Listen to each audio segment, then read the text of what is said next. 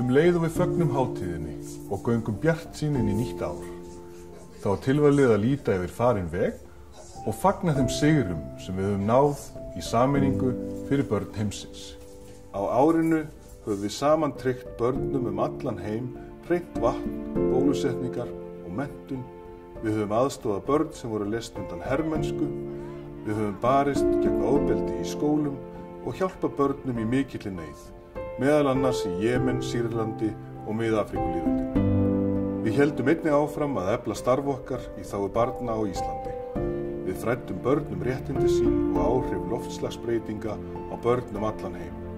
Við unum áfram að innleðingu barnasáttmálans í skólum, frístindaheimilum og sveitafélögum og þrýstum á að stjórnvöld tryggja réttindi barna sem sækja hér um alþjóðlega vernd.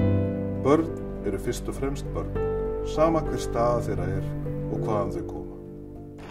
Á sama tíma og þjóðin horfið á heimsmyndstramótið í fótbolta í sumar myndu við á hversu mikilvægt það er að börn fá að leika sér. Sér í lagi þegar þau búa á neyðasvæðum. Í haust fögnuðum við tíu ára samstarfi við te og kaffi og viðskiptavinni þeirra og þeim mikla árangri sem samstarfið hefur skila verið börn. Við heldum upp á alþjóðadaga barna þann 20. november og gerðum það mögulegt að ratti barna og ungmenna fá að heyrist. Allt árið glöddumst við við því að yfir 27.000 manns á Íslandi séu heimsfóröldrar og taki þátt í baráttinu fyrir réttindum og velferð barna með okkur. Með réttindi barna að leiðaljósi og með ykkar stuðningi, heimsforeldra og þjóðarinnar hefur UNICEF á Íslandi tekist að bæta líf ótal barna um allan einu, veita þeim öryggi og vernd og byggja með þeim bjartari framtíð.